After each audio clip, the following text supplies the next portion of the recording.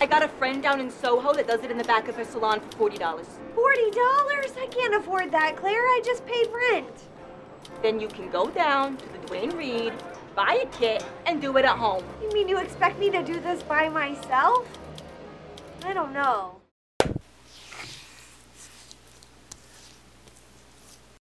Ah!